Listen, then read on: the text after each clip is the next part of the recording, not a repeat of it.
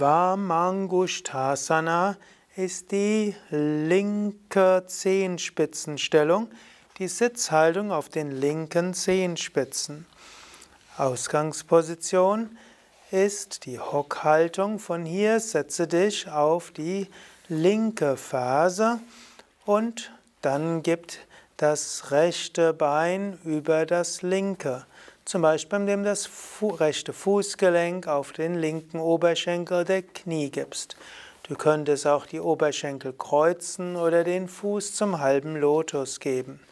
Dann gib die Arme so langsam zur Seite und so bist du in Vamangushthasana in die linke, linke Zehenspitzenstellung.